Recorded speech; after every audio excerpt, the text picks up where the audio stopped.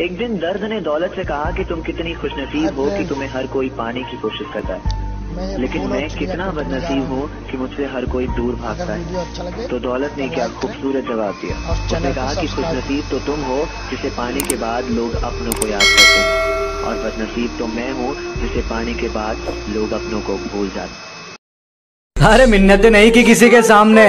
बस मेहनत चलने दी। लोगों की तो आदत ही है हमसे जलने की। Mini Bolo